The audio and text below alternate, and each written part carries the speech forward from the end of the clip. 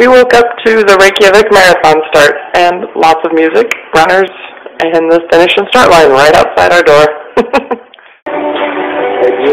Kids, start line. That's where we're safe. I'm not sure what he said, but it's soon.